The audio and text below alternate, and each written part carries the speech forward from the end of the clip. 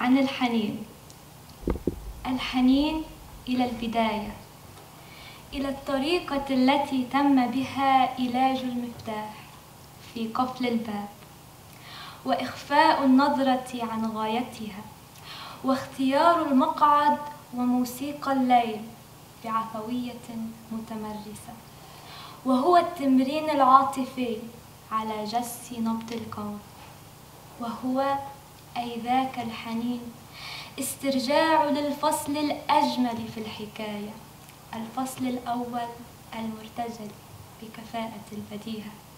هكذا يولد الحنين من كل حديثة جميلة ولا يولد الحنين من جرح فليس الحنين ذكرى بل هو ما ينتقي من متحف الذاكرة. الحنين انتقائي كبستاني ماهر. وهو تكرار للذكرى وقد صفيت من الشوائب. وللحنين أعراض جانبية من بينها إدمان الخيال النظر إلى الوراء والحرج من رفع الكلفة مع الممكن والإفراط في تحويل الحاضر إلى ماض حتى في الحب. تعالي معي لنصنع الليلة ماضيا مشتركا يقول المريض بالحنين.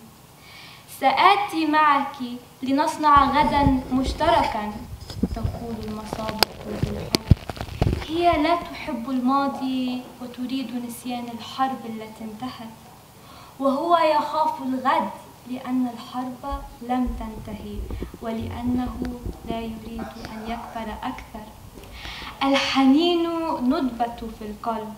وبصمة بلد على جسد. لكن لا أحد يحن إلى جرح.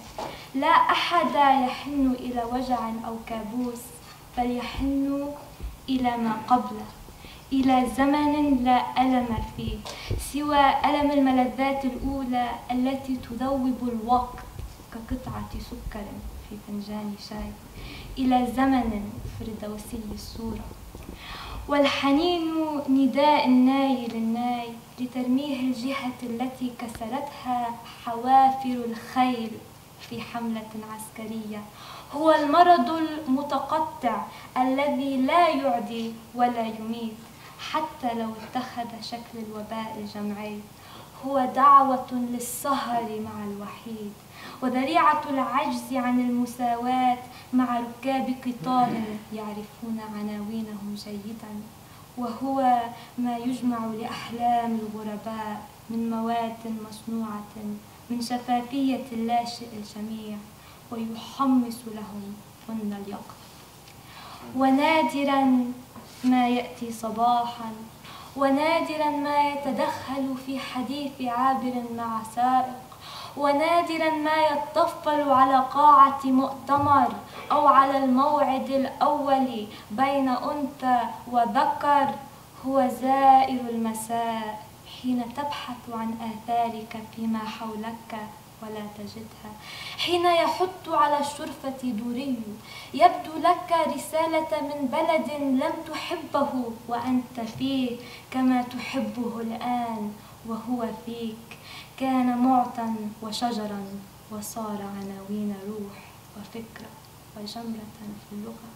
كان هواء وترابا وماء وصار إلى قصيدة. الحنين أنين الحق العاجز عن الإتيان بالبرهان. على قوة الحق أمام حق القوة المتماتية. أنين البيوت المدفونة تحت المستعمرات. يورثه الغائب للغائب والحاضر للغائب مع قطرة الحليب الأولى في المهاجر والمخيمات. الحنين صوت الحرير الصاعد من التوت إلى من يحن إليه في أنين متبادل هو اندماج الغريزة بالوعي وباللاوعي وشكوى الزمن المفقود من سادية الحاضر. الحنين وجع لا يحن إلى وجع. هو الوجع الذي يسببه الهواء النقي القادم من أعالي جبل بعيد. وجع البحث عن فرح سابق لكنه وجع من نوع صحي لأنه يذكرنا بأن مرضى بالأمل وعاطفيون السلام عليكم. Gracias.